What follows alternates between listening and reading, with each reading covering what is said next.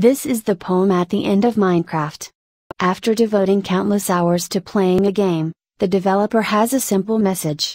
Wake up. The only, and new, belief I hold since going down my first rabbit hole a few years back is the belief that we are spiritual beings. Our programming has been geared towards making us feel small and helpless. That we need false idols to make men's law to keep us in line. That we have no purpose and no hope just a sterile rock created so that we can go to work for another man and make money for another man. It's an absolute travesty, I believe them for even a second. Yes, Minecraft is symbolic in many ways with the book of Revelation in the Bible and is preparing us for the end times war. Whether you want to believe it or not, the facts are undeniable and the similarities are tantamount to the fact this game was divinely created through the hand spiritually. The creator of this game goes by the name of Notch and in Jewish gematria that equals equals 201 and Roman and Jewish gematria also equals equals 201 same goes for with Apollo and what does that mean, you tell me. The Ender Dragon represents Revelation 12 the woman and the dragon.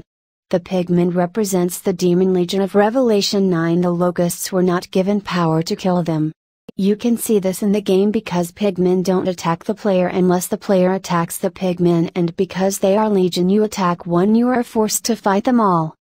The golden swords the pigmen have represents how the locust has this connection with gold grounds. And the shapes of the locusts were like unto horses prepared unto battle, and on their heads were as it were crowns like gold, and their faces were as the faces of men. The wither represents the beast from the bottomless pit in Revelation 9 and the three unclean spirits in Revelation 16. They were ruled by a king, the angel of the abyss. His name in Hebrew is Abaddon, and in Greek it is Apollyon. And I saw three unclean spirits that looked like frogs coming out of the mouths of the dragon, the beast, and the false prophet. It's not a coincidence that the wither has three mouths. I'm barely even scratching the surface here with all these profound connections, and the only reason why I'm writing this here is because of Minecraft 10th birthday. Other than that this is just too deep for most people to understand because your eyes are still in the dream so I'm going to end it here.